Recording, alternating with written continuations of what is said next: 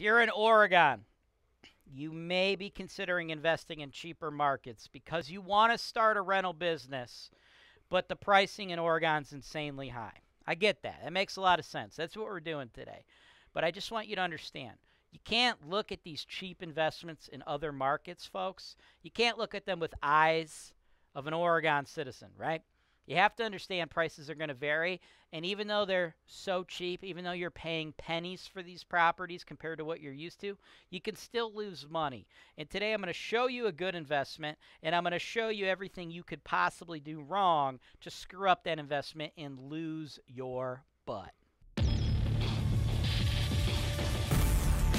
This is your show. This is the show where I work for you directly, taking your needs I'm going through the MLS and I'm trying to find the best possible deal for you guys. Put down 25%. That's the perfect way to buy this. That's why real estate investing is the greatest industry in the world. Welcome to the show, folks. Today I am working with my man Mike. Mike, you're an investor from Oregon. And you come to me like a lot of people from Oregon come to me. You come to me for the same reason that so many other people in your state come to me. And that is you want to invest in real estate, but the price points in the Oregon real estate market are just out of control, right? Housing in Oregon's insane. And then, you know, you have things like uh, Portland, right? Like, holy crap, what's the laws in Portland? Like, I think they just take property owners' rights and they just like auction them off for votes. And like, you barely own the property, right? So barely America, honestly. Uh, so people like you, Tom, you've been pretty much etched out of mom and pop landlording out there, right? The cost of living, it's insane. Your rights as a landlord, it, it, it's not there, right? Uh, they're trying to legislate out landlording in your state, okay? So that doesn't mean you have to retreat, doesn't mean you have to wave the light flag, doesn't mean you have to give up being a rental property investor. You can and should continue to invest in real estate, but you want to do so in cheaper markets, more landlord friendly markets. One of those markets, Mike, is Cleveland. That's why you hooked up with me. Now, just because Cleveland is in Ohio, a red state, and the price points are like pennies compared to what y'all are paying for in Oregon, doesn't mean it's Candyland. Ain't sunshine and rainbows, folks. You got to be smart. You can't screw it up and still make money, okay? Now, Mike, what I got for you today is a four unit apartment building. Great building. I have a lot of experience with it, but it's totally screwed up right now. It's a disaster. It's horrible. The guy that bought it is an idiot. He did everything wrong. Everything you can do wrong, he did wrong. Because of that, I think you're going to be able to score a really good deal. BRRRR deal. Only 30K out of your pocket is all you'll need to invest in this thing that should kick off $36,000 a year in rent, right? $36,000 a year in rent for a $30,000 investment. Why? Because this guy's an idiot. So, want you to pay attention to the video to see the numbers, to see what's going on, to see where we're at. And two, I want everybody else who's watching your video to understand what not to do in a cheap market. Because even though it's cheap, doesn't mean you can't lose money because this dude is going to lose a lot of money, okay? Uh, real quick, before I get into all that and why this guy's losing all this money, if you guys want to work with me one on one like Mike is doing under this video, click the link to book a free call at my team. You'll work with me one on one in real time, right? Because I sent Mike this video privately months ago. I only released it later on Holton Wise TV for y'all to learn about mistakes not to make after the fact. So unless you're Mike, this property ain't available, okay? That's where we're at. Let's jump into a quick break. And Mike, I'm going to break down the whole investment, how we're going to turn it around, and how much money you're going to make right now.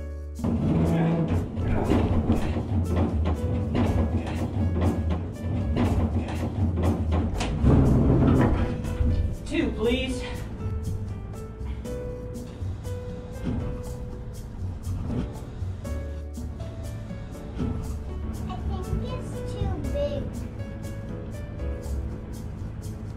No, I think it'll shrink in the water.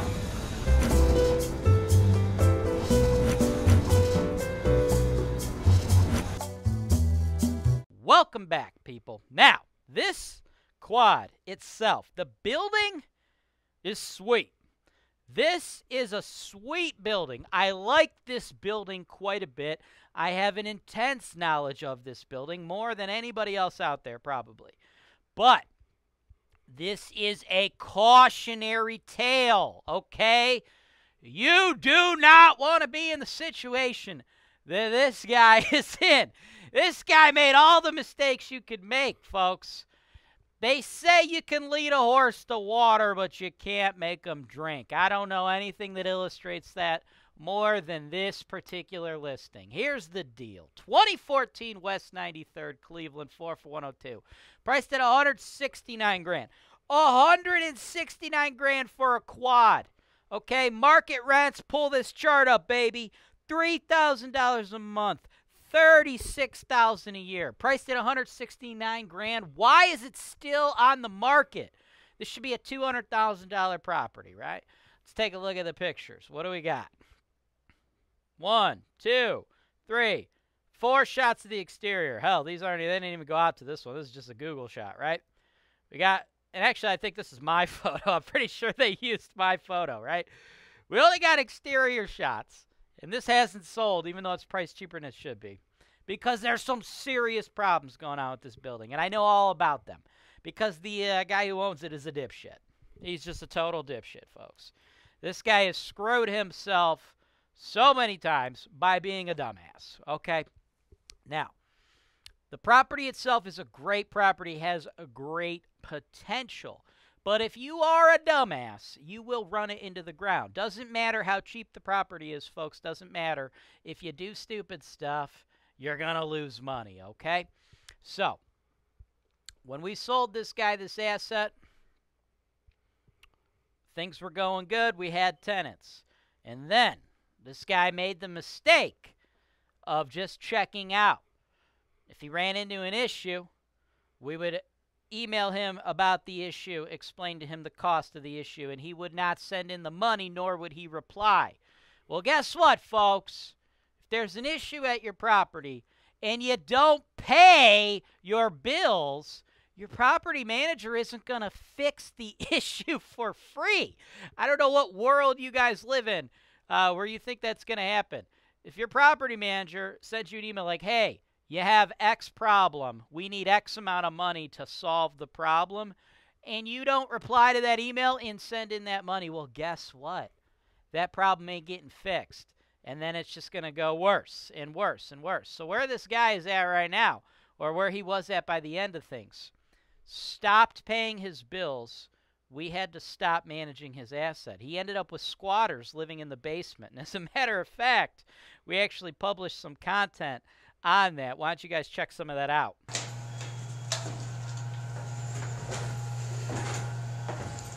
I guess there. Hang on one second. I guess there's two like I feel like a lady's living down here for a little while. I helped my mom out upstairs, and uh, I've been cleaning the basement, but it's like it looks like a mess. But it was all clothes on top of this before, so it was even worse. A lot of it is stuff that she had stored down here. Okay. They just like ripped it apart, you know. So I'm trying to pick it up, clean it, and So when you get a squatter, your property manager can, should, and will remove that squatter. But guess what your property manager won't do, folks? They will not remove squatters for free, right? So what we have here is a situation where this investment, the investor chose not uh, to do repairs on some units that went vacant. Then you start getting more vacancies. Then you get squatters in the building. If you're not going to pay money to get new tenants in there, the more vacancies you're going to have, the easier it is for squatters to go in there. So in that content, you saw uh, things are starting to spiral out of control. We were collecting rent, I believe, from like one tenant, maybe two tenants, and just utilizing that money to uh, put band aids on his property and slowly try to get those people out. But eventually, more problems happen, and if you're not paying the money for us to go and solve those problems, it just goes out of control. He ran out of money. Uh, so eventually, we had to just stop. We had to just uh, let the neighborhood take it over, right? And then when the guy finally reached out to us, he's like, hey, why isn't my property selling? I want to sell my property. And I had explained to him, like, yeah, when you originally listed your property, uh, you had a decent situation, but then uh, you ran into some issues and you stopped paying your bills. uh, and we had limited amount of your money to solve the problem. So of course they're going to get worse and worse and worse. Now, uh, your property is definitely not going to sell for what you thought it was, what it should be worth, because you fucked it all up, bro. so you need to give us the money to solve the problem for you.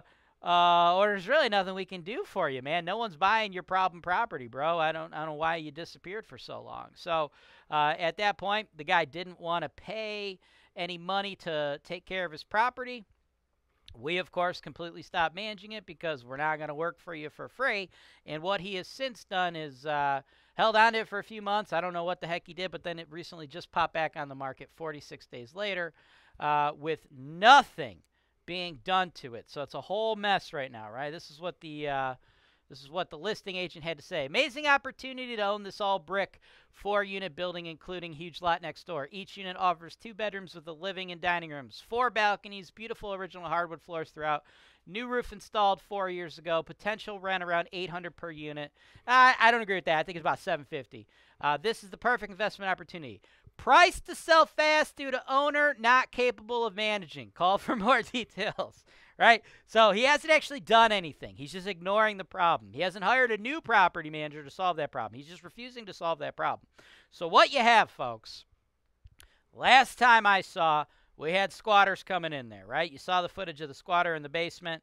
I assume the it was like one or two tenants, I believe. I assume they probably moved out because the guy's not fixing problems. So you probably at this point, I'm guessing, have a building that is completely occupied by squatters, right? And this guy's just refusing to do anything. He's like, ah, here's my problem, take it, right? That's why you get pictures of only the outside, right?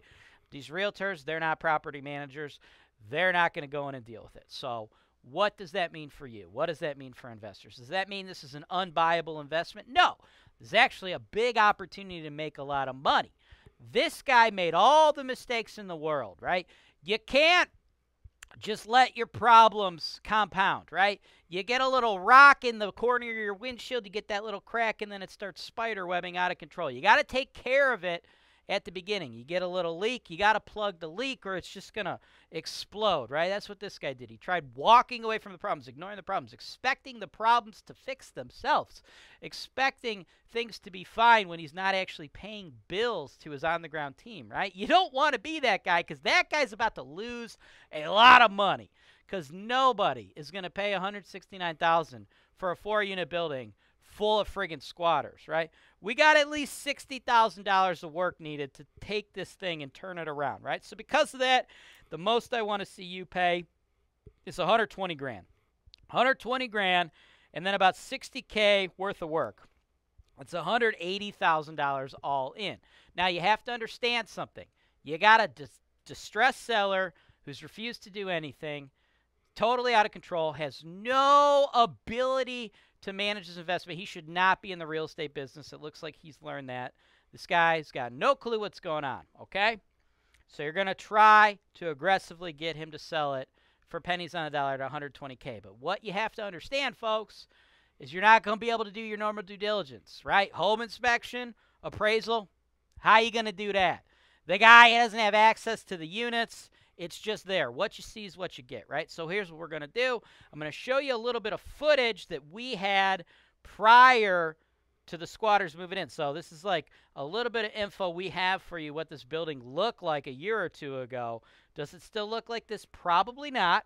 2014 West 93rd Cleveland 44102 and I priced this sucker at $214,900. Now, while you guys are enjoying the lovely footage my film team has put together for you, I'm going to talk to you guys about why I freaking love quads, okay? I love quads more than any type of investment there could ever be because it's the best of both worlds, right? Let me explain. Real estate, it's about uh, two things, really, right? When you're doing rental real estate, there's two things that are more important than everything financing and collecting rent, right?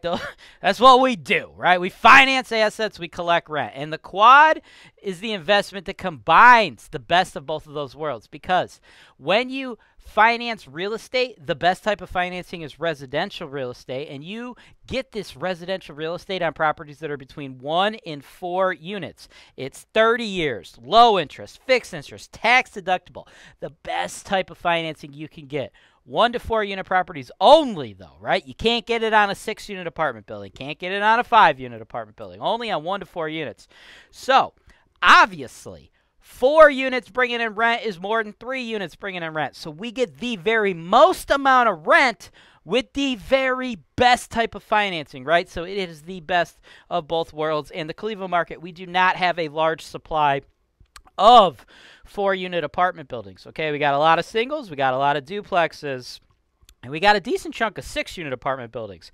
Not that many four unit apartment buildings. So, when a four unit apartment building, such as this beautiful monster that it is, comes available, guys, you gotta you gotta move quick.